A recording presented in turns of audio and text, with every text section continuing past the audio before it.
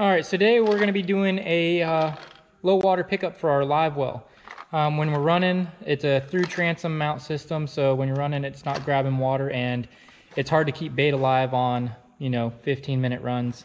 Um, so we found this is uh, from TH Marine and it's an easy mount system, which uh, we're gonna give you a little uh, review on it and install video and uh, go from there. Hopefully it solves our issues because uh, it's hard to keep these uh, greenbacks alive and pinfish and stuff when we're running in the back and trying to get where we need to go. You know, it takes a little bit of time. These the baits are real sensitive, so let's get started. All right, so this is what we got here. I'm gonna open it up, pull it out. That'll be it. Comes with a little plate here. That's what you're gonna use for mounting. That comes off. We got our screws. Be four screws here. This is going to be a washer shim. It has a little bit of a lip on it, so that way it keeps this housing from moving when it's mounted on the boat. But uh, it's set up to mount where your uh, pump comes through at. So right here is our factory one. So we're going to pull this cover off here.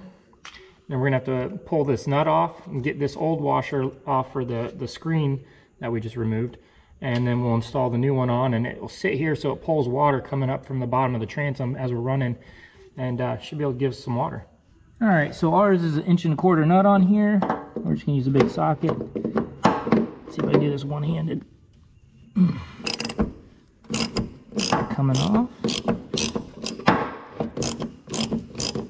You use two hands to hold the pump on the inside, depending how well yours is fastened on there.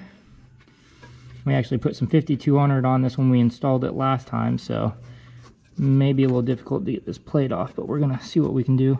Slowly work it off with a flat tip screwdriver, just like that. And go way around,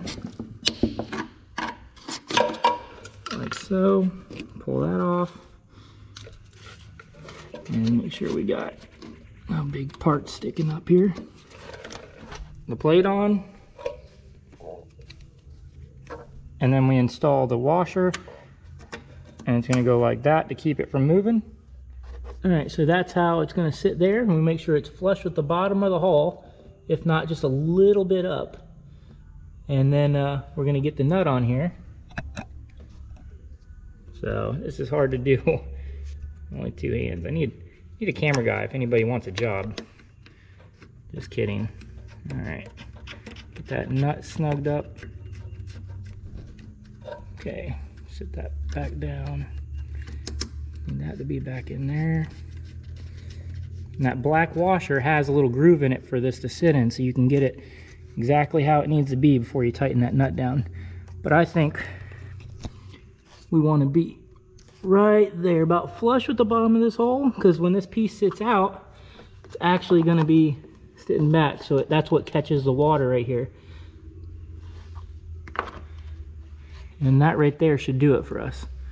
So that'll give us enough height and uh, hopefully we don't rip it off. That'll be, I gotta maintain my composure when it comes to running shallow sometimes. All right, we got the height that we want and everything, the angle, so it's flush with the bottom here. And we're gonna take and go ahead and uh, put our cover on.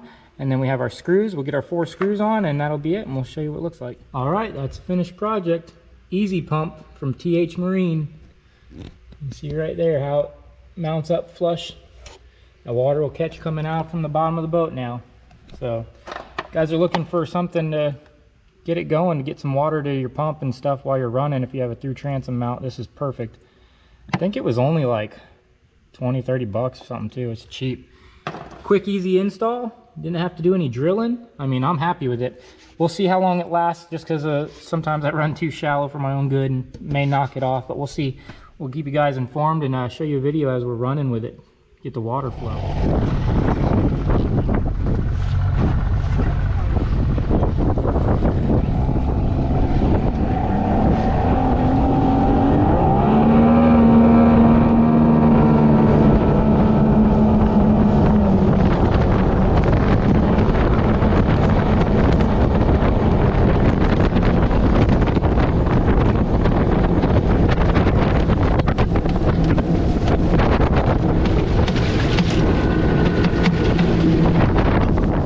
so if you guys are looking for a uh, something to help out with uh, low water pickup for your live well pump, definitely the way to go. The EZ Pump cover is just super easy to install, quick, and it's effective. It works great. So you guys need to get one if you don't have one.